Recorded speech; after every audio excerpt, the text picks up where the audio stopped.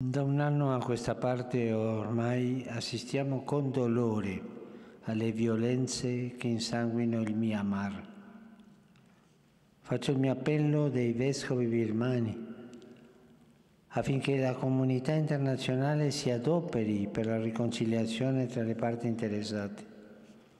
Non possiamo voltare lo sguardo da un'altra parte di fronte alle sofferenze di tanti fratelli e sorelle Chiediamo a Dio nella preghiera la consolazione per quella popolazione martoriata.